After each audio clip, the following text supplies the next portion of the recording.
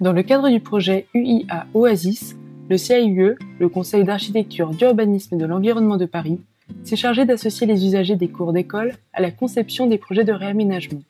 Les architectes et paysagistes du CAUE sont intervenus entre septembre 2019 et février 2020 dans les quatre écoles maternelles, les quatre élémentaires et les deux collèges parisiens sélectionnés. L'objectif était alors de produire des cahiers de préconisation et des plans-programmes des futurs cours Oasis avec les élèves et les adultes des établissements. Nous avons commencé cette démarche de co-conception avec les enfants, qui seront évidemment les premiers impactés par la transformation de la cour de récréation. Nous voulions que leurs besoins et leurs idées servent de boussole pour toute la suite de la démarche avec les adultes. En accord avec les enseignants, les directeurs ont désigné dans chaque établissement un groupe d'élèves pour devenir les ambassadeurs du projet en participant aux ateliers animés par le CAUE. Pour que toute l'école soit impliquée, le CAUE a mis à la disposition de tous les enseignants et animateurs une mallette pédagogique pour aborder les enjeux du projet Oasis en classe. En maternelle, des albums ont été offerts aux écoles pour servir de support de discussion avec les enfants et des ateliers sur les temps périscolaires ont aussi été organisés chaque semaine. Pour être prêts à restituer leur travail à toute l'école au retour des vacances de la Toussaint, les élèves ambassadeurs ont travaillé sur le projet entre septembre et octobre 2019. Les premières séances ont permis d'expliquer aux élèves les enjeux du projet Oasis, comme le changement climatique, l'effet d'îlot de chaleur urbain, la désimperméabilisation des sols ou encore la biodiversité. Bien sûr, ces sujets complexes ont été adaptés en fonction des niveaux et illustrés par de petites expériences, des promenades et des débats. Il y avait une mascotte et c'était un rouge-gorge qui s'appelait Georges. Au début, il a dit que Georges, que à côté du toboggan, il fait pas chaud. Et sur le toboggan, en fait, le toboggan, il est toujours brûlant. Et en fait, j'aimerais qu'il y ait de l'herbe, des fleurs et de l'eau. Et ils ont enlevé les barrières. Du coup, on a pu jouer de, et, et, derrière les arbres, à cache-cache, à chaloux. La deuxième étape de ces ateliers consistait en une phase de diagnostic de la cour. Les enfants l'ont observé. Ils ont relevé les matériaux, les végétaux, ce qui était abîmé ou en mauvais état. Ils ont noté sur le plan ce qu'ils aimaient faire, à quel endroit et à quel moment de la journée.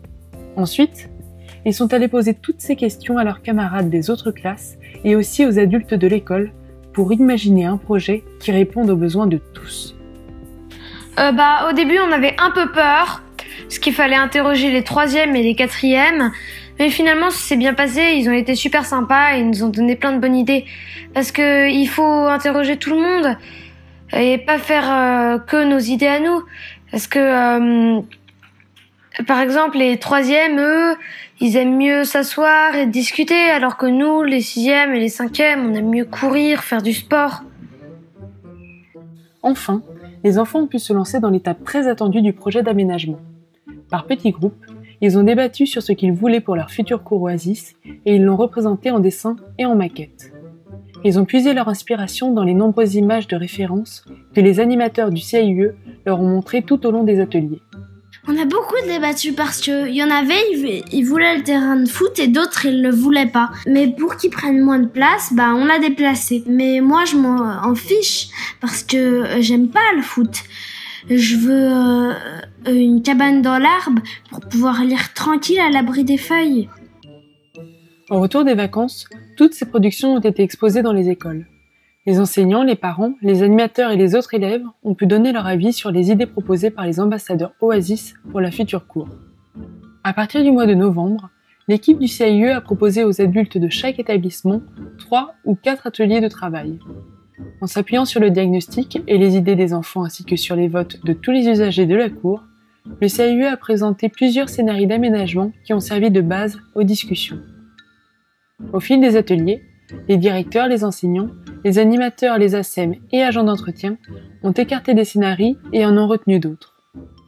Petit à petit, avec l'aide du CAUE, ils ont précisé le projet, délimité des espaces, choisi des matériaux, des végétaux et des aménagements ludiques. Parfois, certains débats ont été un peu vifs, mais le plus souvent, les décisions ont été prises de façon consensuelle et toujours en gardant à l'esprit les intentions initiales des enfants. En fait, euh, moi, je dirais que j'avais, euh, y avait deux pôles dans, mon positionnement. Euh, j'ai eu le, le, pôle enseignante, mais j'avais aussi le pôle avec mes élèves. Ce que je voulais apporter, c'est les idées de mes élèves, parce que c'était pour moi la priorité. Et, euh, après, euh, oui, avoir une réflexion de d'adultes sur ce qu'on vit au quotidien. Et donc, il a fallu en fait mêler les deux, les envies des, élèves, nous, notre réalité d'adultes aussi globalement, je trouve que ça s'est bien passé. Il y a eu une énergie, en tous les cas, collective euh, que j'ai trouvé très positive, malgré les contraintes. Euh, voilà, je trouve que c'est un beau projet, en tout cas, et on a hâte. Entre chaque atelier, le CIE soumettait au service de la ville l'avancement du projet pour s'assurer de sa faisabilité technique et valider ou invalider certaines hypothèses. En décembre, les chefs d'établissement et les responsables éducatifs ville ont participé aux côtés des services de la ville de Paris et du CAUE à une commission technique. Les projets ont été présentés à un groupe d'experts extérieurs qui ont apporté des conseils très bénéfiques. C'était aussi l'occasion pour tous de se faire une idée de ce qui se préparait dans chacun des dix établissements. En mars 2020, tous les projets étaient finalisés et les services de la ville de Paris ont pu s'atteler à la rédaction des cahiers des charges techniques avant de s'en lancer dans la consultation des entreprises. La dernière étape de cette démarche de co-conception sera la mise en place de chantiers participatifs dans les écoles. Ces chantiers prendront des formes différentes en fonction des projets, mais le CAUE s'efforcera au maximum de donner une place aux usagers dans la concrétisation de ces futurs cours Oasis.